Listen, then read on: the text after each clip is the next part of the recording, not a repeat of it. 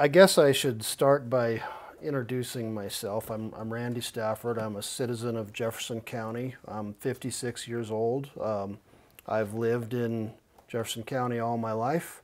I'm a third generation Jefferson County resident, except for two years in Pasadena, California when I was a teenager. I think the best way for me to introduce myself related to Rocky Flats is I'll just read paragraph or two from my chapter in Kristen Iversen's upcoming book. She has a book coming out in May called Doom with a View, and it's an anthology. Um, it has chapters by, it has 19 contributors, and I'm one of them. So this is the final manuscript of my chapter. It's titled Deadly Development and the Radioactive Refuge Building and Recreating on Plutonium Contaminated Land. So here's the introduction. Um,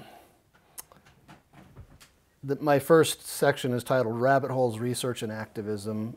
Rocky Flats is a rabbit hole. My fall down it began with reading Kristen Iversen's Full Body Burden in 2012 and hasn't stopped since. I became obsessed with the issue, reading every book, watching every documentary, and listening to every interview about it. I've delved into deeper research, reviewing special collections and archives at the University of Colorado Boulder Library from the first scientist to raise alarms about Rocky Flats, making Freedom of Information Act requests to the Department of Energy, and visiting the Federal Records Center and U.S. District Court Clerk's Office, all to obtain rare reports and court case exhibits related to off-site Rocky Flats contamination and its consequences. And I'll just mention that um, Dr. Moore donated many boxes of his personal records to the CU Norlin Library Special Collections and Archives Unit. And it was really fantastic. I spent like three weeks there going through original files of, um, well, Carl Johnson, Ed Martell, Jock Cobb, um, Leroy Moore, and others. these were their personal files that they'd collected. And back in back in these times, the 70s, um, a lot of it was 70s. You know, there wasn't email, um, at least outside of ARPA, and so these people would type letters to each other, and so you, would have collections of letters. Anyways, I, like to research, so. Um, one more paragraph. As a 50-something third-generation Jefferson County resident, I'd always been vaguely aware of the place in a background kind of way. I knew my aunt worked there. I remember the hippies, as I regarded them during my high school and college years, protesting it. Later, my biking routes would take me up Indiana Street, bordering the site on the east, but I was as ignorant of the contamination as I'd been of those people's heroic activism. I saw metal sheds and equipment in the fields and accurately suspected they were for air and water monitoring without grasping the implications. Only after going down the rabbit hole did I begin to understand the complexity and the horror of Rocky Flats. Amusingly, I became what I'd dismissed before, an activist, though I prefer research and direct persuasion of decision makers to public protest. Um, I guess one more sentence. Two government plans moved me to oppose actions I regard so dangerous to public health that I'm dumbfounded by our officials' lack of moral responsibility. The first was to open the Rocky Flats National Wildlife Refuge to the public on September 15, 2018. The other is to build the Jefferson Parkway along the site's eastern border. That's the start of my chapter in Doom with a View. And I have a sort of a unique characteristic, which is that my uncle John Martin spent his career in the Fish and Wildlife Service um, as a refuge manager and he was the manager of the Alaska Maritime Wildlife Refuge. Um, he lived on Adak Island in the Aleutians for several decades, and I actually visited him there in 1976. And there's an island in the Aleutians called Amchitka, which was the site of underground nuclear weapons testing in the late 60s and early 70s. And that's actually where Greenpeace was founded, by the way. Um, anyway, um, the Fish and Wildlife Service had operations on Amchitka after the tests. They, they were rehabilitating a, an endangered species of goose there. So they had employees living on Amchitka and actually employees' families living on Amchitka. And a lot of those people and their family members got cancer later in life. And so my first act of uh, civic engagement or, or, or public activism was in, in the summer of 2017, Fish and Wildlife Service here began putting on these quote unquote sharing sessions to talk about their plans for the refuge. They held a series of four of them, public forums, but it was a one way information flow. Um, people weren't really allowed to, well, they weren't public policy meetings, and, and attendees weren't really allowed to make input. They were only allowed to receive plans. So I met David Lucas, who's the manager of the Rocky Flats National Wildlife Refuge, and I told him this story about my Uncle John and Amchitka and what happened to the Fish and Wildlife employees there. And I wrote, I wrote him a letter, um, three or four page letter, um, basically pleading with him, it's not too late, you know, to, to close the refuge. I never got a response. So, so I, my, and furthermore, my uncle John gave me kind of an impassioned opinion. I asked him, well, what do you think of the federal government or the Fish and Wildlife Service um, turning former DOE sites into uh, refuges. And he wrote back and said, Well, you've hit a pet peeve of mine. He said, uh, I think the agency that screwed up the land should be required to keep it and fence it and patrol it and put signage on it so that people don't get the idea that it's a perfectly safe place to go horseback riding. Here are the topics in here, just a little introduction and context. I want to talk about the well-established fact of the plutonium contamination. It's, that is not disputed, it, it is fact.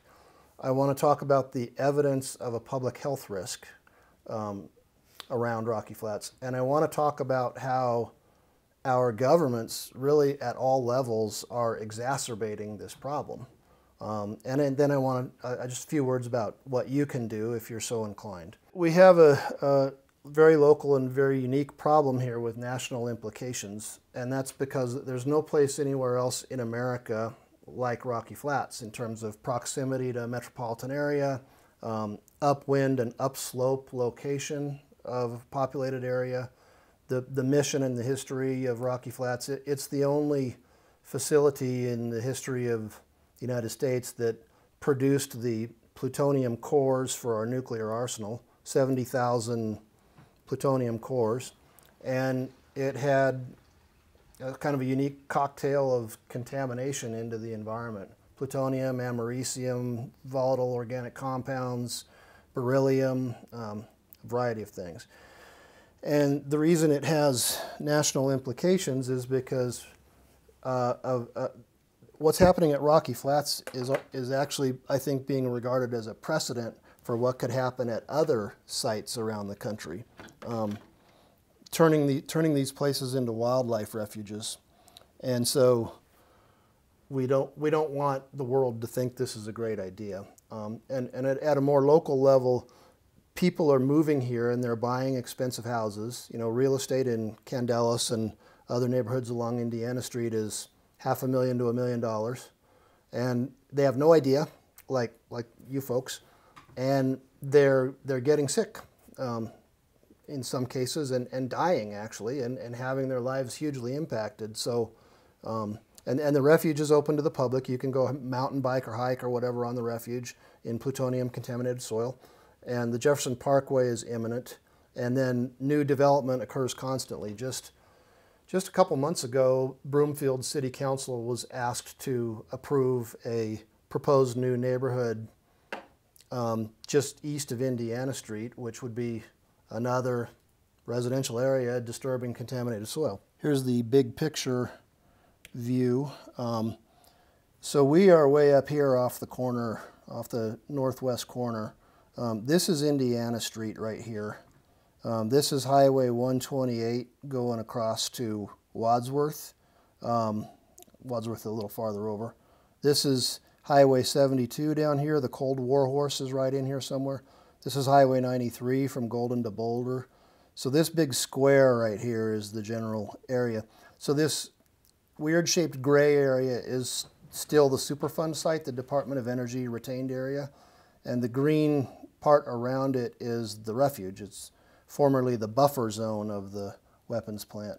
And together those two the gray and green areas together comprised the official plant site. It was Department of Energy land altogether. Um, the buffer zone was actually expanded in 1975 in response to some of these studies that Dr. Moore referred to. Um, it didn't used to be as big.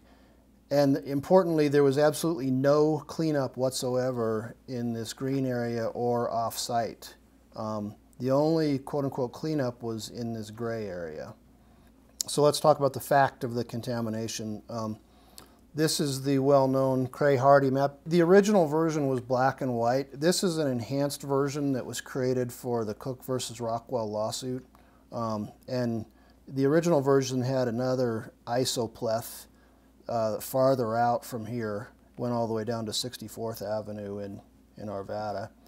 Um, and these, the, these are units of becquerels per square meter. If you really get into this, you'll find different units, picocuries per gram, becquerels per square meter, what have you.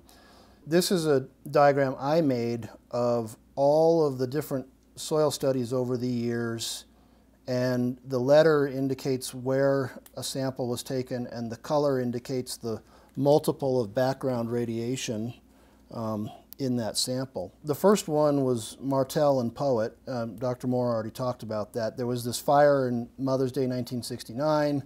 Ed Martell up at NCAR could see the smoke, started asking questions, didn't get answers, so he, he had the wherewithal, the knowledge to do his own study.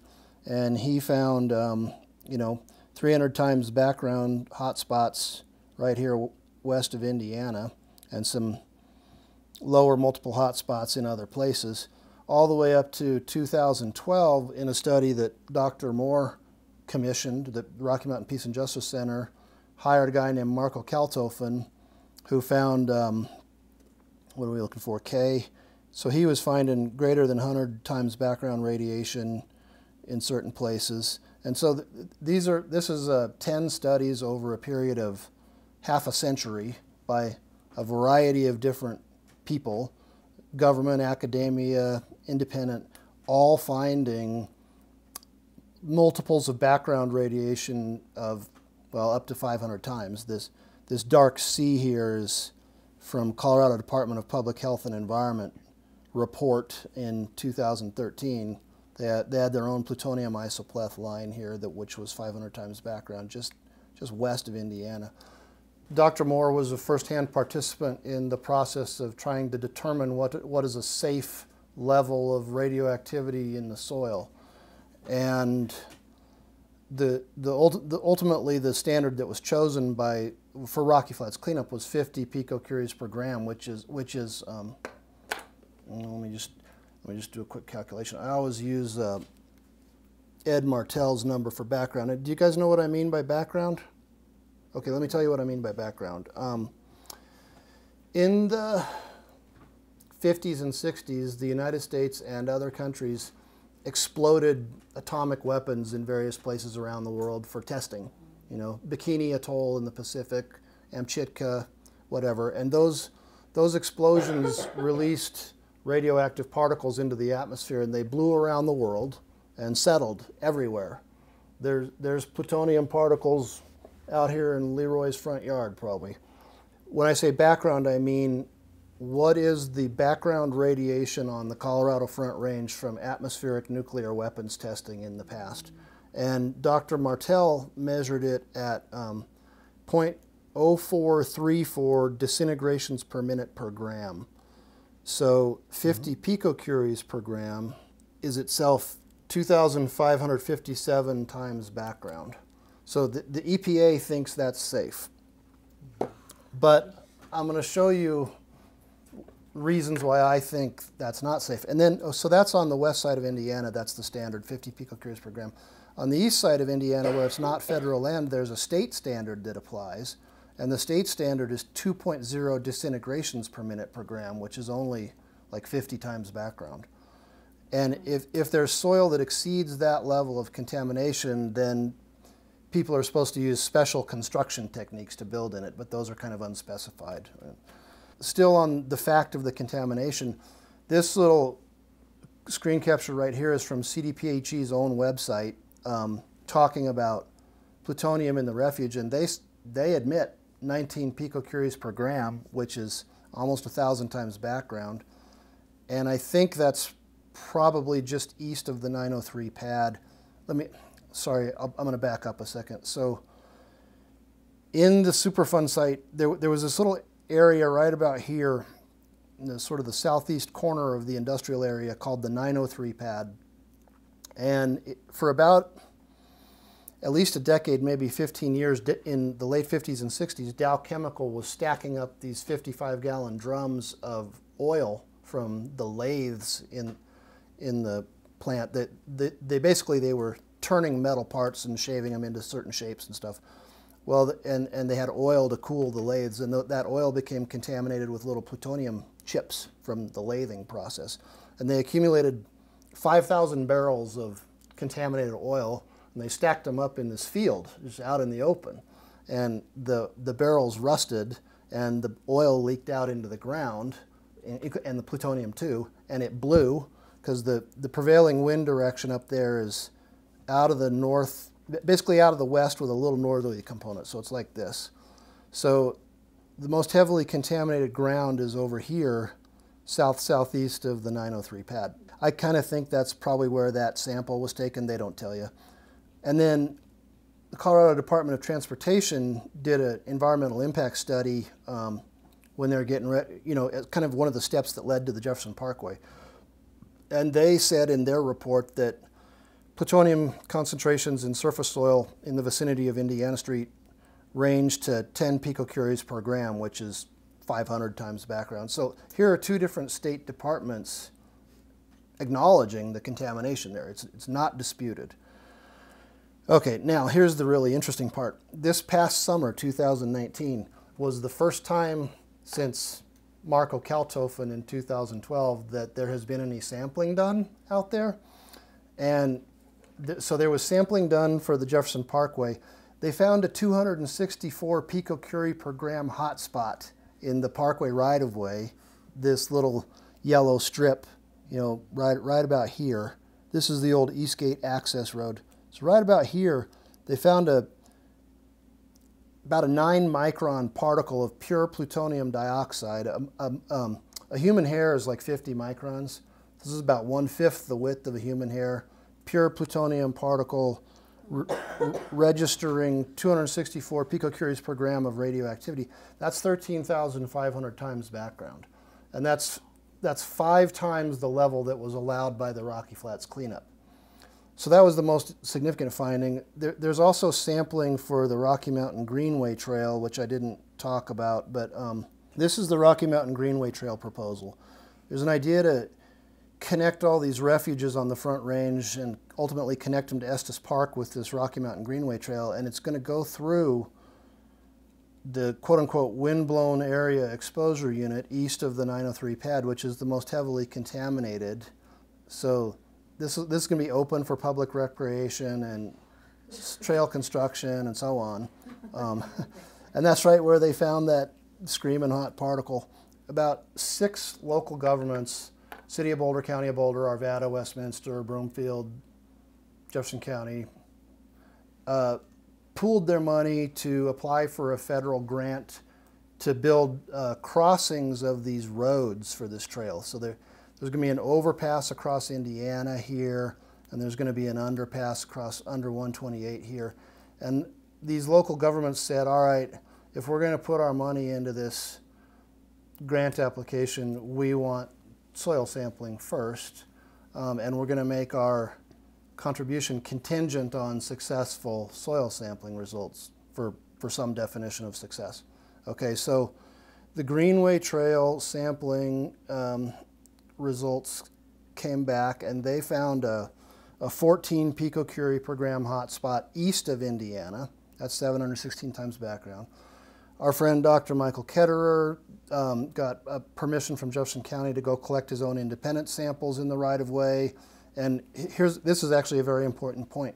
He found um, a little plutonium particle that was three microns and it only registered 138 times background he could tell that it's 100% Rocky Flats origin because of the ratio of plutonium-239 to 240 atoms. The amount of radioactivity from any one particle is not really the issue. The issue is the fact that these particles exist. They can be suspended in the air and they can be breathed. You saw the little starburst thing in the ape lung. All the sampling that happened this summer confirms previous results and actually exceeds them.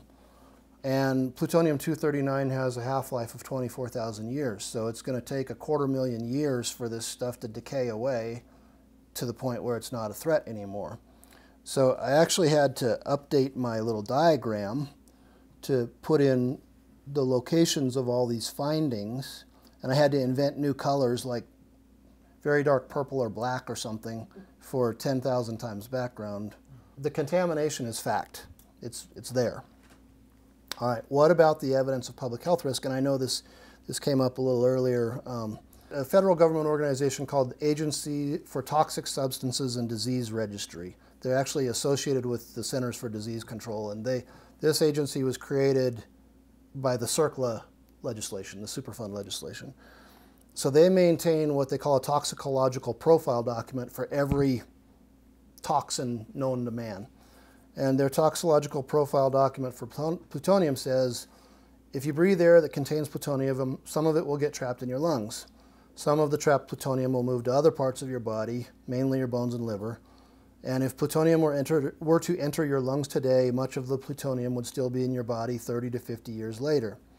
And it also says that cancer is the most latent, is, is the major latent harmful effect produced by ionizing radiation and the one that most people exposed to radiation are concerned about. The ability of radiation of various kinds to produce cancer in every tissue has, has been demonstrated in laboratory animals. It's not an immediate effect. Um, it has latency periods of two to greater than 20 years. Exposure can produce cancer at any site in the body. Um, however, some sites are more common, such as breast, lung, stomach, and thyroid. This is the federal government speaking. Okay. So part of my research, and I forgot to mention, um, I volunteered and served on the Jefferson Parkway Advisory Committee, which was a citizens advisory committee established by the Jefferson Parkway Public Highway Authority Board of Directors. And my reason for getting on it was I wanted to advise the Board of Directors of the potential public health risk of this project, which I was eventually able to do. But I did all this research on past soil studies and past public health studies for that purpose.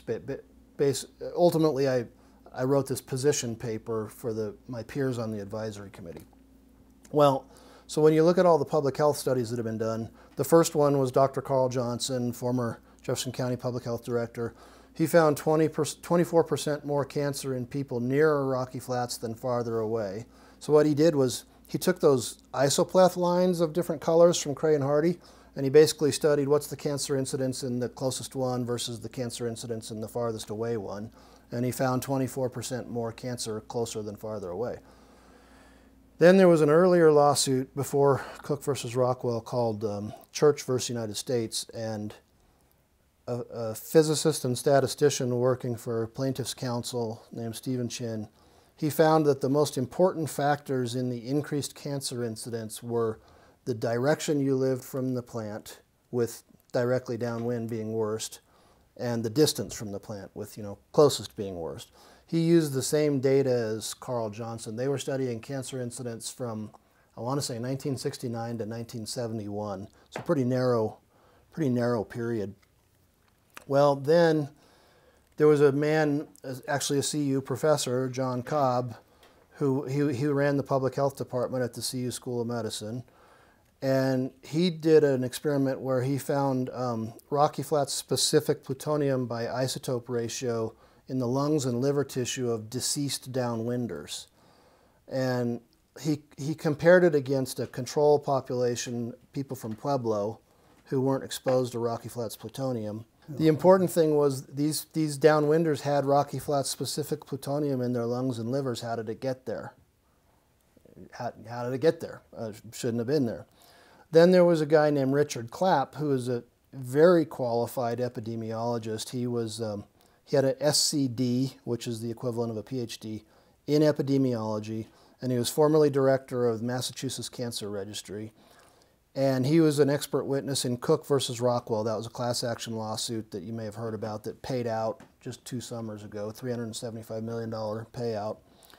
Well, anyhow, he did his he did a study on later data. I think he he analyzed data up through 1995 or so, And he found 29% more lung cancer and 90% more bone cancer closer to Rocky Flats than farther away. And then there were then there was a, a DOE funded study by a guy named Kenny Crump who replicated Johnson's results, but then he applied this quote unquote urbanization adjustment where he he measured how far the cancer victim lived from the state capital and it skewed his results and he was later criticized by Clapp for doing that and I, I kind of discount that one because it was methodologically flawed and funded by DOE. And then our own Colorado Department of Public Health and Environment has done studies which are also methodologically flawed, and Dr. Moore has criticized them sharply. They, CDPHE considers areas like Thornton and Niwot to be near Rocky Flats.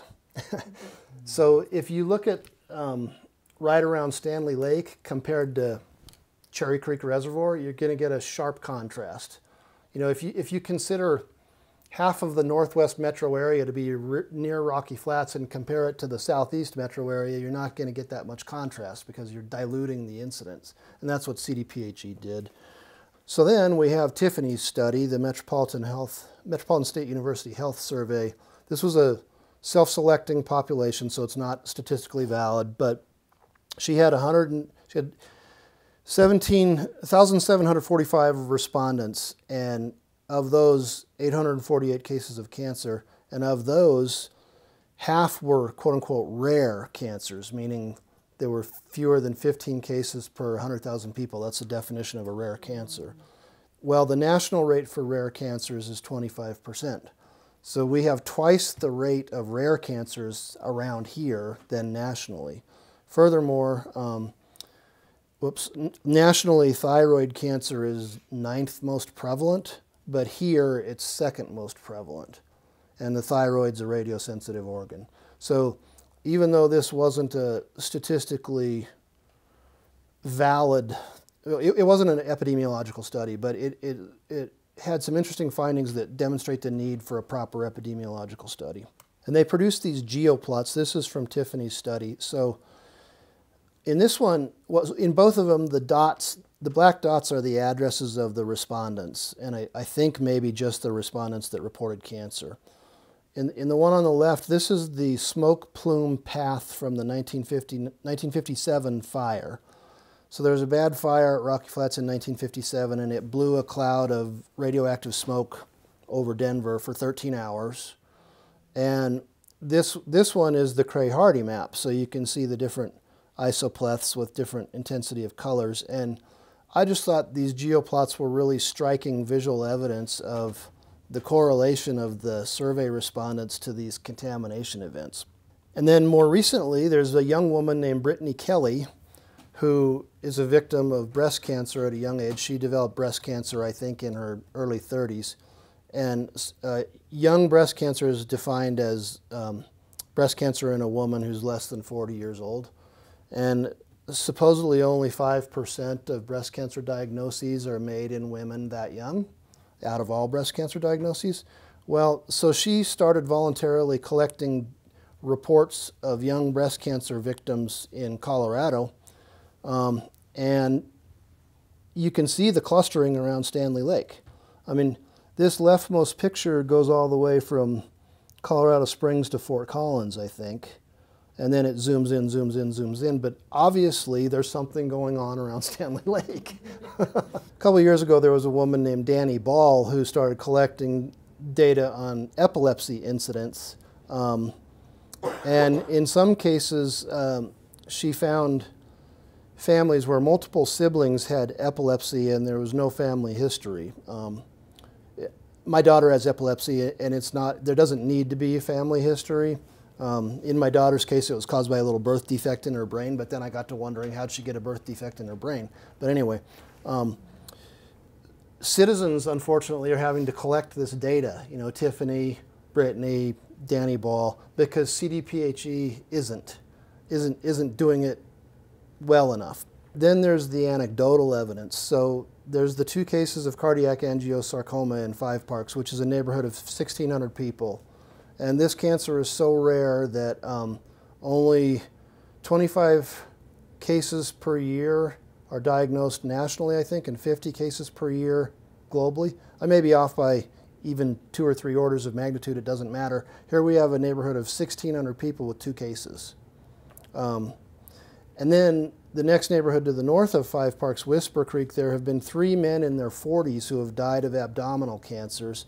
Um, and Tiffany knows these cases, and their doctors described the cases as anomalies, and one of them blamed Rocky Flats. Um, both these neighborhoods, Five Parks and Whisper Creek, are, are new. They were built in the last 15 years. Um, Whisper Creek was probably just getting started being built when the quote unquote cleanup was finished. Um, and furthermore, there's been, there's a dog park um, just east of there, and, and there's a Denver Post article about a veterinarian reporting high incidence of cancer in dogs in his practice. So th this is anecdotal evidence. So we've been through epidemiological studies, a couple of citizen-led studies, and then anecdotal evidence. But to me, um, you know, the, go the government is basing its assertion that the area is safe on this software package called ResRad, residual radiation. And ResRad was developed and maintained by Argonne Labs, Argonne National Labs. It's, it's closed source. I actually, I'm a software architect, and I wanted to look at the source of this program to see how's it making its conclusions, but you can't, it's not open source. What ResRad does is you put in some parameters about here's the amount of contamination and here are some assumptions about exposure, like a, a wildlife refuge worker will be on the site for 40 hours a week and a refuge visitor will be on the site for two hours one day of their life, and it spits out a excess cancer incidence estimate of one in 100 million population or whatever the number is. What's happened in five parks alone demonstrates the invalidity, in my view, of ResRad. I mean, you have, two heart cancer cases in a 1,600 person neighborhood. Um, and so this subject came up earlier of um, what's the smoking gun linkage, right? So Dr. Michael Ketterer, who is a, um, a chemist um, who specializes in radionuclide soil study. He's he has emeritus status at Northern Arizona University, and he's currently teaching at Denver University. Um, he has the, the laboratories and the equipment, um, fancy mass spectrometers, to, um, well, to, to find plutonium in soil but he is also working on a capability to analyze human tissue for plutonium. And the, the tricky part is um, how do you take, let's say, an excised tumor, excised primary tumor, it has to be primary tumor, and um, reduce it down to a little vial of serum that he can put in his mass spectrometer. That's the tricky part. And he's talking about validation tests like you know going down to the store and buying some steak and injecting it with plutonium and then running it through his process and seeing if he can find the plutonium. The capability's not ready yet. All he needs is funding, um, but it, it is it is possible, and there's actually a precedent for this. Um, in the movie Dark Circle, there's a man named uh, uh, Lloyd Mixon who says he had a an extracted tumor analyzed for Rocky Flats plutonium with positive findings. And in, the, in full body burden, um, Kristen Iversen describes a girl named um, Kristen Hegg, whose father built the Iversens' house. She died of bone cancer, and her family had her ashes, her cremated ashes, tested for Rocky Flats plutonium with positive findings. So there, there, there is precedent for this kind of study. So if you really want to be technical about it, you would have to analyze excised plutonium or excised tumor tissue from other people. Or what, what's the story? Um, you'd have to have a control group somehow. So, but but to me, if if it, well, I'm jumping around, but you men, you mentioned Benny Abbott. Benny Abbott had a double mastectomy in 1984 or something uh, for breast cancer, and she preserved her breast tissue for 25 years or however long it's been. And she actually gave it to um, Dr. Sasha Stiles. And that's not the only tissue sample that uh, Dr. Stiles has in custody awaiting Dr. Ketterer's capability. So if you have a person who had cancer and you have an excised primary tumor and you find Rocky Flats specific plutonium in it by isotope ratio, to me that's smoking gun. Mm -hmm. even if there's no control group. The chemistry is possible. All it would take is the political will, to, but CDPHE doesn't have the political will. How government is exacerbating the problem. Yeah, this is a good one. Um, first, there's the wildlife refuge. It opened to public in September 2018. Um, you can go ride your mountain bike, uh, whatever. Um, to me, the offsite tracking of contamination makes it a public policy issue. You know, I, I, get every time there's an article in the Denver Post about something like this, you'll see people making comments, and I'll make comments, and you get into these comment wars. And, and you know, if, if somebody wants to go play in plutonium, give them a Darwin Award. I don't care. You know, they shouldn't reproduce anyway. However, let's say they bring their bike into some bike shop, or let's say they bring their their their their horse their their tack or their horseshoes or whatever someplace. Let's say they walk into the local Starbucks with their hiking boots on. They could be tracking plutonium in there, and that makes it a public policy issue.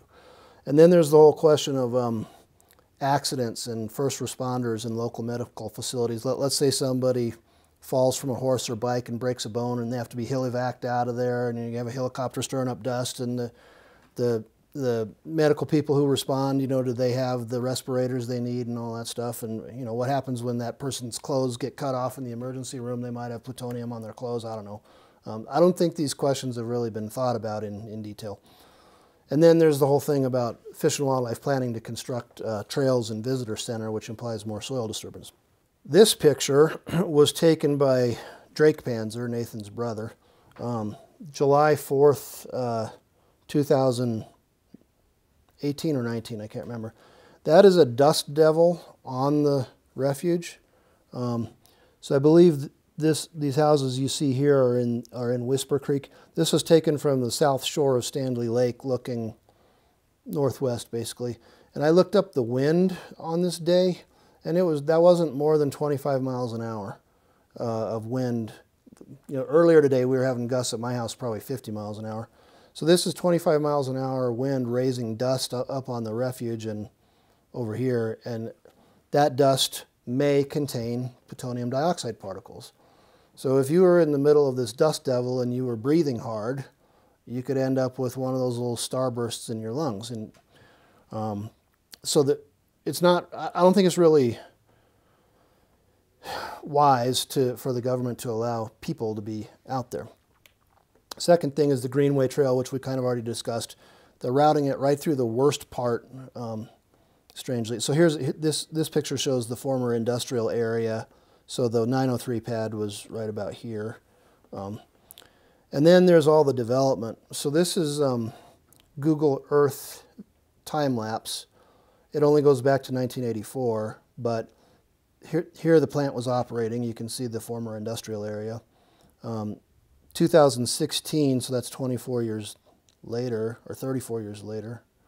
Um, it's been it's been demolished, but you can still see where it was. And when you look around Stanley Lake, like the north shore of Stanley Lake, there's all this housing that's gone in here. There's all this housing that's gone in on the south um, south side of Stanley Lake. Candelas is being developed, obviously. This is Leyden Rock right here. This is Candelas. Um, here's Whisper Creek, and here's Five Parks. So that, and there's new neighborhoods in Broomfield. This this neighborhood right here is Skystone, and it is about two and a half miles due east of the 903 pad. So this is down to um, like planning and zoning departments in Arvada, Jefferson County, and Broomfield. They just don't care.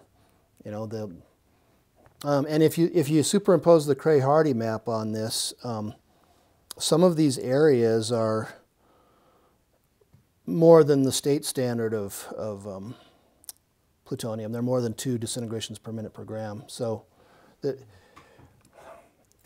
you know, I could, I could, once I get warmed up, I could talk about this a lot. So uh, I actually spoke with uh, Doug Young, who was the staffer for Congressman Mark Udall at the time when the Rocky Flats National Wildlife Refuge Act was written, 2001. And Doug Young actually wrote the legislation, he wrote the bill. And the reason I called him, or I wanted to speak with him, I wanted to ask him how did there get to be a transportation right of way in this Refuge Act? And he kind of told me the whole history of the Refuge Act. he told me that when Rocky Flats closed, when when the mission changed from plutonium pit production to closure, um, there was a debate about what would become of this land, and Wayne Allard, not Wayne Allard, Mark Udall, um, did not want. He wanted the land to be preserved as open land somehow because he knew this would happen. He knew that if they didn't try to preserve it somehow, that development would creep over there. Because there's a there's a pr pretty prominent guy in all this history named Charlie McKay.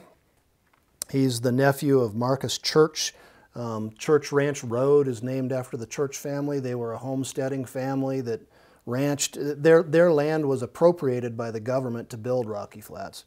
Well, the, the churches in McKays have been dead set on developing their land for profit for like half a century. And they're not the only ones. So the, the developers don't care, obviously. Cand Candelas is a church family development. Whisper Creek is a church family development. The, the planning and zoning de departments don't care. So we're going to have more Panzers and McNeelys if, if this whole thing continues. Now my personal favorite, the Jefferson Parkway. Okay, so this is the fourth attempt to complete the beltway around Denver. We have from 9 o'clock to 12 o'clock roughly, or we have, what is it? We have from 8 o'clock to 11 o'clock, something like that. That last chunk is the Jefferson Parkway. So for a number of dubious reasons, it's routed right up Indiana Street, right through all that contamination. And this is a picture I took in April of 2018 down on C470 where I live. Um, and there was a dump truck and a bulldozer up here and driving along and, and they were raising all this dust into the air. And that's what'll happen with um, Jefferson Parkway construction. You know that Indiana is kind of hilly. They're talking about uh, cut and fill construction techniques. So convoys of earth movers cutting the hills and filling the valleys. And here's the prevailing wind direction. And all that construction would blow dust like this down here. Um, and it's, in my view, a, a very dangerous public health risk. Well, here's the good news, Leroy. I think you were waiting for this. We have been, we the community, have been engaged with the local governments that are partnered in the Jefferson Parkway since December 2018. Um, Leroy has a young man working at uh, the Rocky Mountain Peace and Justice Center named Chris Allred, and he discovered that uh, a Broomfield City Council meeting agenda in December of 18 had an item on it to where, where Jefferson Parkway Public Highway Authority was asking Broomfield for 2.5 or 2.1 million extra dollars for 2019. JPPHA asked Broomfield, Arvada, and Jefferson County, all three partners, for an extra $2.1 million that year for a total of $6.3 million because they needed it to run their procurement process. You know, they needed to release a request for proposal and get the bids back and, and, and, so, and evaluate the bids and so on. Well, we intervened in Broomfield um, successfully. Um, so it dragged on and on. It lasted all of 2019, but um, we had this big meeting on June 18th, and, and I, I kind of coordinated some people to come talk, and the other side talked, you know, CDPHE and all the development interests, you know, Jefferson County Economic Development Center. Um, well, the, the Broomfield City Council never voted last year on that $2.1 million. They just kept delaying, delaying, delaying. And then the elections happened. And Broomfield is a, a hotbed of progressivism. I mean, who knew, right? But those, those people are, they're pissed about fracking and they're pissed about the Jefferson Parkway. So tomorrow night, um, they have an item on their agenda, uh, a resolution to um, send a, a, letter of intent to withdraw from Jefferson Parkway Public Highway Authority. The, the resolution will pass by an 8 to 2 or 9 to 1 vote. Um, we don't know what will happen next, to be honest, because if you look at the establishing contract for the Jefferson Parkway Public Highway Authority, it says that a partner way may withdraw if there's unanimous consent from the board.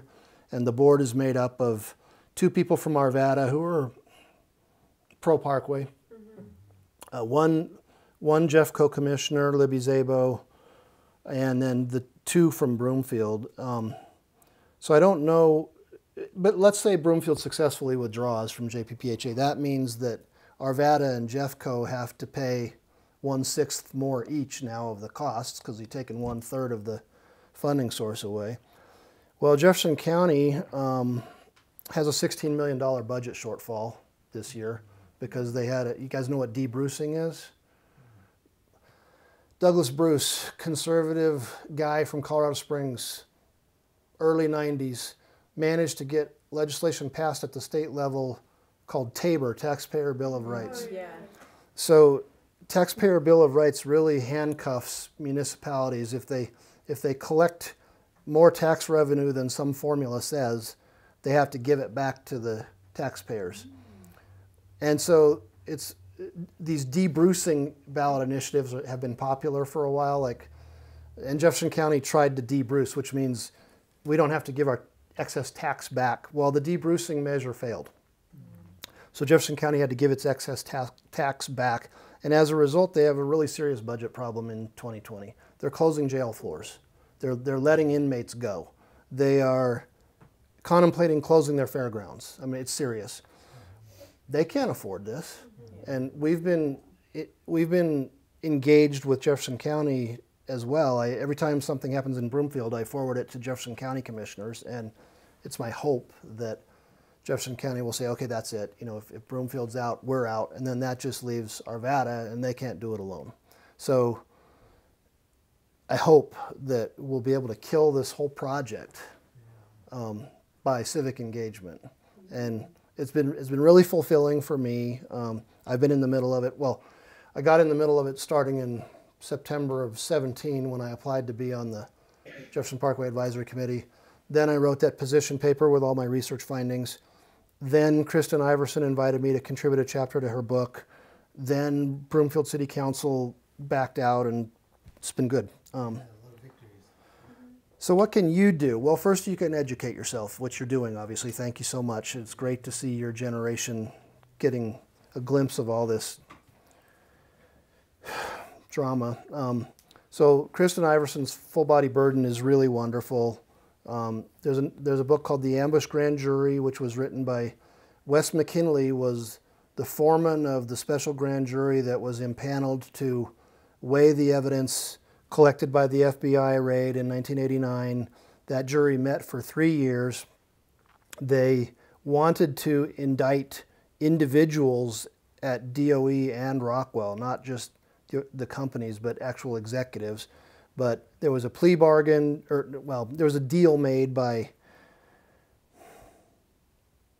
I always forget his name. There was a district attorney at the time, Mike, Mike Norton. Mike Norton made cut a cut a backroom deal, and Rockwell ended up getting an $18 million fine, which was less than their profit from running Rocky Flats that year. There's, there's a book called Making a Real Killing by Len Ackland, which is really good history, a, a lot of church family history. Um, if you want like the historical context of how did Colorado get Rocky Flats, it's in there my position paper. So what else can you do? Now, now we need to turn our attention to Jefferson County. I think we're, we're winning in Broomfield. We need to convince Jefferson County to bail out. Um, tell them you're concerned about the public health risk. Um, tell them you have no confidence in CDPHE. Um, and then finally, uh, don't visit the refuge on windy days. Don't, don't be anywhere near it. And um, if you know any sick downwinders, put them in touch with Tiffany. And that's the end of my thing. Why do CDPHE's cancer incidence studies about Rocky Flats include areas that are 16 miles away and not downwind? That's question number one. Why has CDPHE never conducted a health monitoring program of the population around Rocky Flats? They, what they have done is um, supposedly retrospective, case controlled epidemiological studies, but they could take Candelas or Five Parks or Whisper Creek and just monitor those people's health. Put in some kind of a system where everything from a common cold to a cardiac angiosarcoma case gets reported. If, if, they're, if they're at all concerned about this public health risk, why are they not monitoring? That was actually one of the things the plaintiff class in Cook v. Rockwell sued for. They, they wanted health monitoring. Why have they not studied other conditions besides cancer, neurological diseases like Parkinson's, epilepsy, thyroid diseases? City and County of Broomfield made the Department of Energy give them a new water supply back in the, the 90s, I think. Rocky Flats contaminated Broomfield's water supply. In order to offer political compromise, I, I took the position with lobbying Broomfield that just ask for realignment of the parkway. It's really the alignment up Indiana Street that's dangerous. So they could put it west of, uh, uh, they could put it up Highway 93 and across Highway 128. I don't have a problem with that, except economically, I'm not sure it's viable. In, in fact, um, one of the three companies that was qualified to bid on the project withdrew. And one of the reasons they withdrew is because their internal analyses showed that the cost of building and operating the, park, the parkway wouldn't be made up for by the toll revenue. As a Jefferson County taxpayer, I have a, a small dog in that fight, but my big concern was the public health risk. Um, I, I, understand that Boulder would not want a routing up Highway 93 because they're trying to keep that open. Um, they own they own a lot of open space on the west side of 93. So that would, and if, if JPPHA wanted to pursue that, it would be like starting over. They've already acquired right of way. Uh, they, they would have to do all the engineering and planning to route it that way. They'd be totally starting over, which would mean they'd need another, I don't know, 10 or 20 million dollars, and nobody has it. Not that I know of, but it's really an interesting question. So, my wife, my wife's family lived at 32nd and Kipling, if you know where that is, um, Crown Hill kind of area, for 50 years. And my, my father-in-law's a leukemia survivor. He loves to garden. He's out in his yard all year. And so when you look at that 1957 smoke plume, mm-hmm. it came south, and I think, well, and, and, it eventually turned up the Platte Valley, but I think it hit that ridge at 32nd and Wheat Ridge and dropped stuff. Yeah. Um, so my, my, fa- my father-in-law is a leukemia survivor, with, and he also has epilepsy. My mother-in-law has Parkinson's. My wife has what's called the downwinder scar. She had some kind of cyst removed from her neck when she, about 20 years ago, and she had this really weird presentation a couple years ago that we thought was going to be multiple sclerosis. She, she had like her spinal fluid tested, and, it, and a diagnosis was never made and eventually it cleared up and we never knew what it was. It was like an autoimmune disorder presentation. And, and, and then our daughter has, she had a little piece of her right occipital lobe that didn't like fully flower out and form into like normal looking brain tissue. And that's where her seizures originate is in her right occipital lobe. So I got to wondering what, how the heck, well, um, there's, there's this whole thing called epigenetics uh, yeah. um, about how um, genetic mutations are transferred from one generation to the next just made me wonder like, could my wife's issues have been caused by? No, I guess they couldn't because she was born. She was born before her parents lived there. But there have been, there have been other anecdotal reports. The, street that Carl Johnson lived on, he Carl Johnson lived near 32nd and Kipling in a neighborhood called Paramount Heights. And I, my good friend who first gave me full body burden lived on the same street. There were three cases of brain cancer on that street. And it, again, so this friend's brother and I hired Dr. Ketterer to analyze their parents' cremation ashes mm-hmm. and uh, soil samples from their home because they had lived there for 50 years. And he, he found a um, sample of plutonium from these old junipers in their front yard that um, was of mixed origin, so part global fallout, part rocky flats. So it was confirmation that Rocky Flats plutonium got as far south as 32nd and Kipling. One of the interesting things to me is the high school classes. It's like Arvada West, Pomona, even Arvada. My mother's family grew up in Arvada, and the 57 fire happened on her 17th birthday.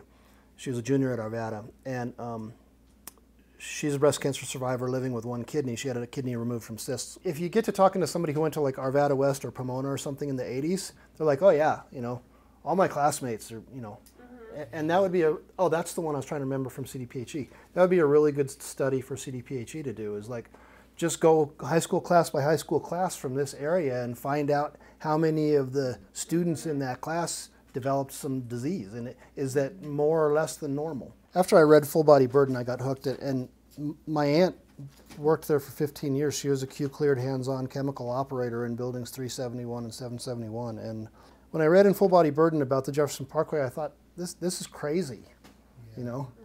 And so I just wanted to learn more and wanted to intervene. The reason decision at Rocky Flats is so important, it's a it's about the trial of the trespassers. Right. And they called in the the defense called in um, heavy duty witnesses: Alice Stewart, Karl Morgan, Carl Johnson, Ed Martell, Jock Cobb. All these guys were on the witness stand and they're being filmed. A lot of that generation is gone, Yeah. and they were like the first real people to raise alarms. And they were very qualified.